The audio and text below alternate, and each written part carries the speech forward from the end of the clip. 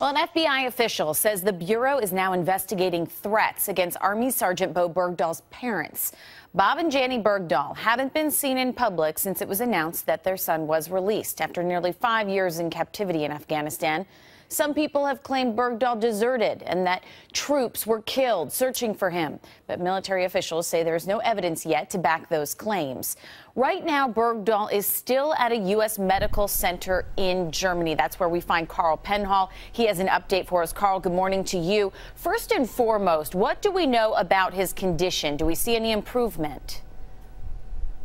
Well, Lynn, here, medics at Landstuhl Medical Facility are really giving us not a great deal of information about how Bergdahl is doing. Uh, they do say in general terms that he's stable, that his condition continues to improve, and that he is engaging in conversation with the doctors, the physicians around him, taking an interest in the kind of care program that they have laid out for him. But citing patient confidentiality, the medics here at least aren't giving too many more details.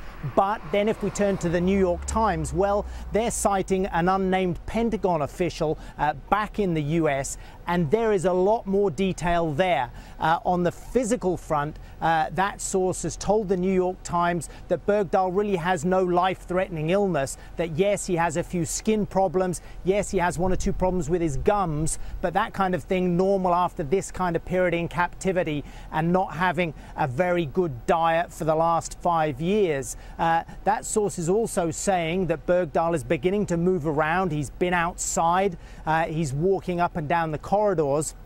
And also in conversations with his medics, he's insisting on continuing to be called private first class rather than the sergeant rank that he was promoted to during his time uh, in captivity.